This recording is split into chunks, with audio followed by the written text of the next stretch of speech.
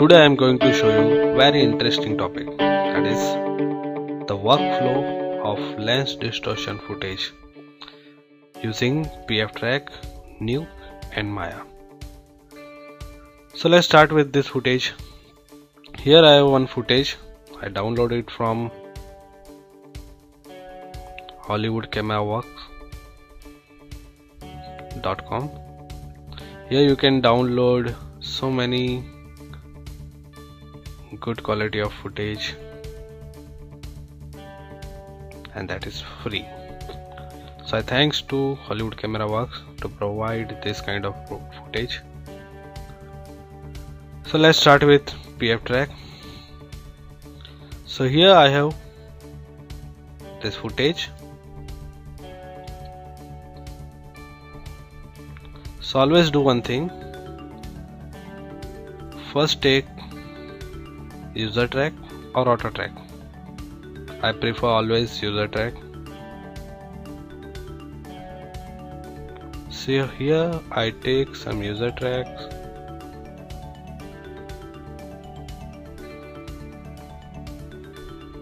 okay now see here is the distortion. So for that I use undistortion. I can show you how undistortion work. So I right click here and I take undistortion.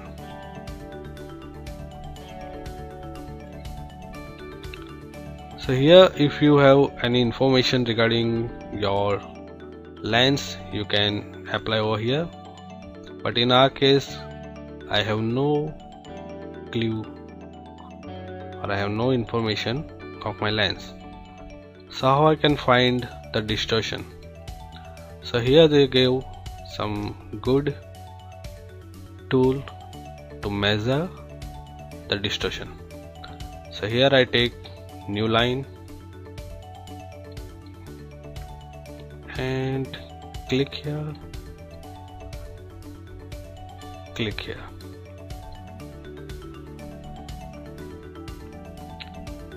And I just define this line. And now I solve.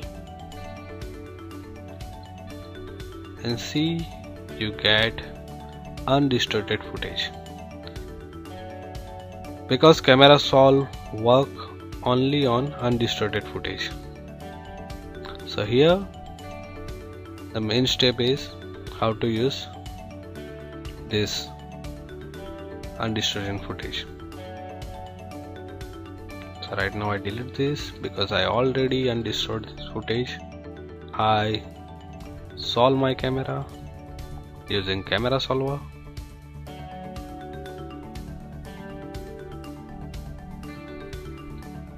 then orient scene. I pick some points on ground and I set plane to exit plane and I take one of my track point solve point and I set as origin. So here I got the solution.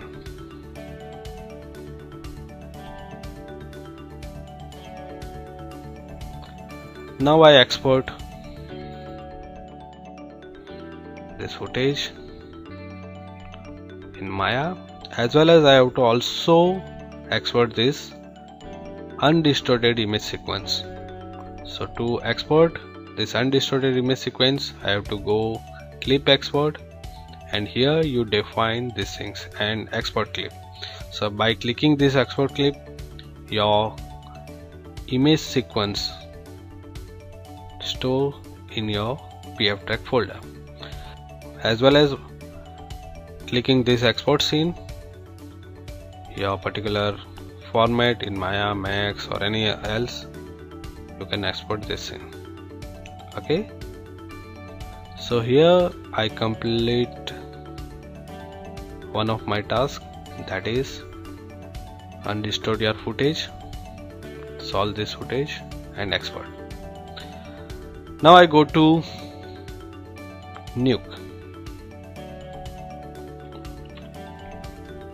Here I already remove my chroma but this is not the perfect time to see this.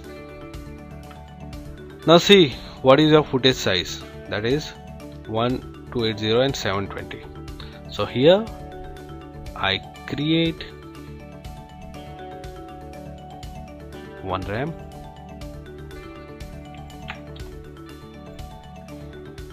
And I put color to red. Basically I design UV map. So coordinate is 0 this is 1280 and this is 0 and 0 so here I apply one gradient or one ramp black to red. I create one more ramp. I just duplicate this by clicking alt C. In this I define color to green and vertical now I have two ramp black to red. And one is black to green. Now I merge this thing.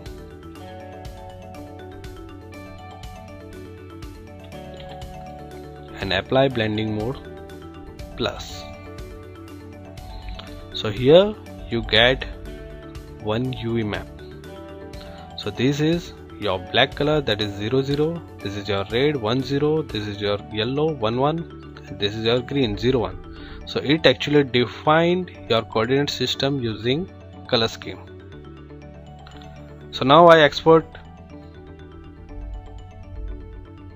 this image in EXR format. This is compulsory. You have to export this image in EXR format. So here I have this UV image in EXR format. Now I have to take this image into PFtrack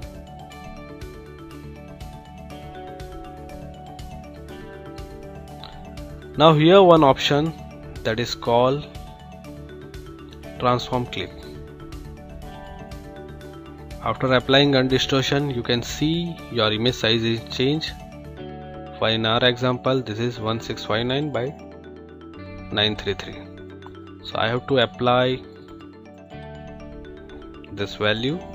This width is 1659 and height is 933 okay after transform your clip you have to apply one more tool that is your add distortion tool. And now you see here you have value 0.592 so I have to add.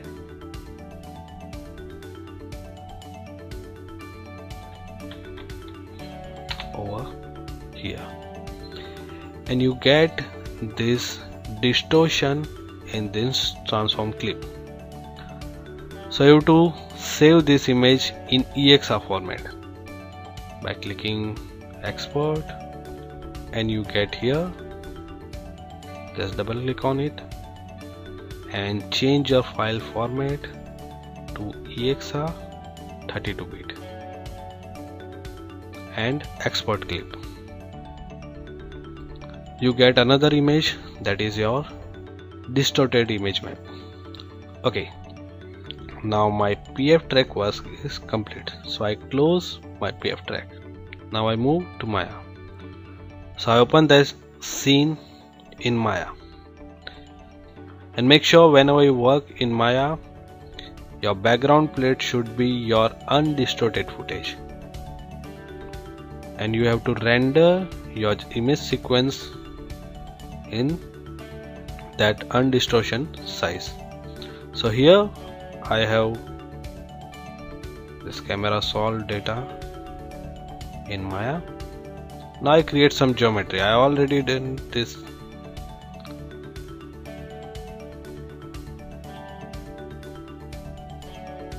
Okay apply some texture. In our case I just use checker pattern.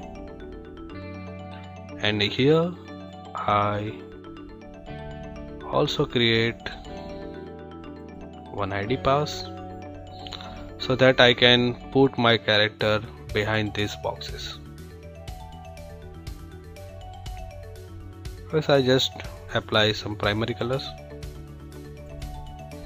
and this is my master beauty. Now render this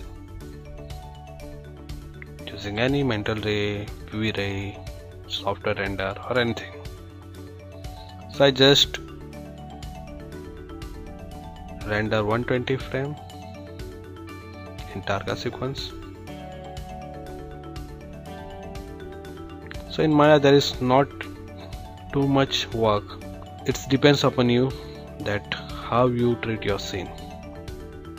So in our assignment this is my secondary so I have not too much work on this footage. I just render this out. Now I move to nuke. So here I have this render passes.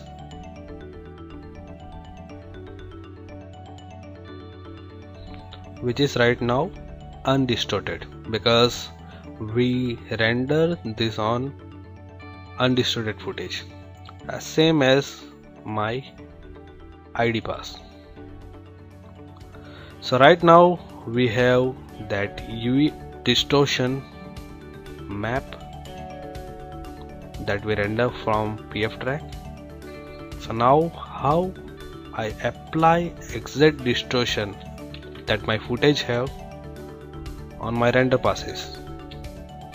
I have this distortion. I have to apply that distortion in my render passes using this UV map.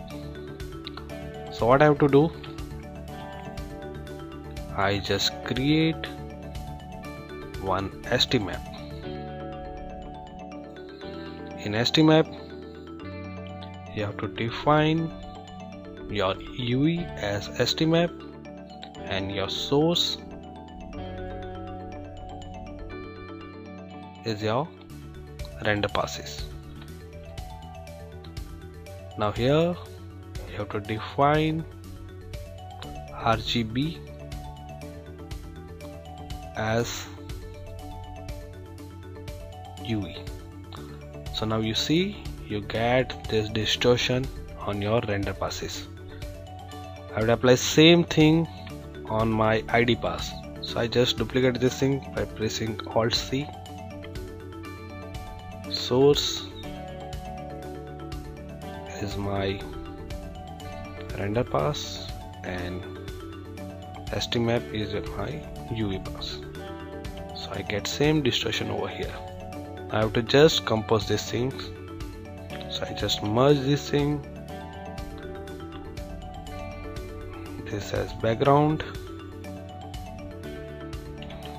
So now you see you get that distortion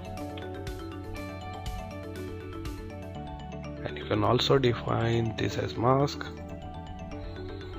Apply red invert.